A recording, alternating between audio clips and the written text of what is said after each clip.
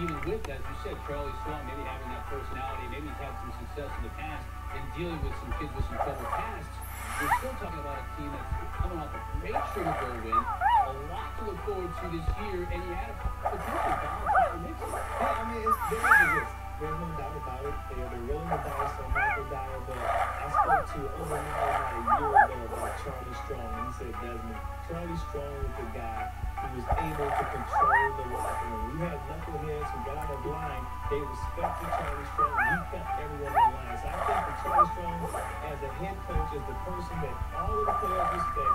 They're not going to let Michael Dyer come in there and mess up the chemistry of that locker room.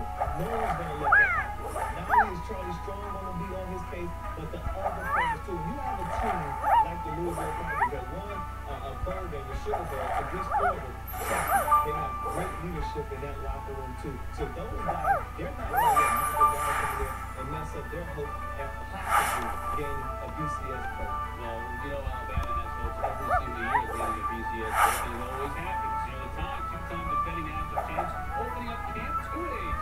For the morning and evening session, closed to the public with the exception of Sunday's fan day at Bryant Denny. First practice in full camp set for Tuesday. No Dee Milliner, no Eddie Lacy, but still a ridiculous amount of talent at Nick Saban's disposal. McCarron, Cooper, maybe the most talented group this entire run.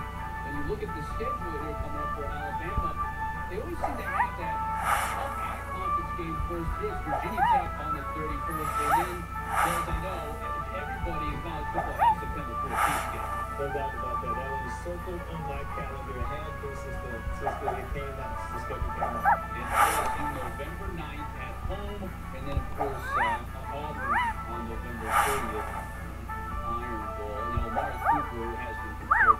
favorably to Julio Jones, the cornerback and wide receiver now the Atlanta Falcons.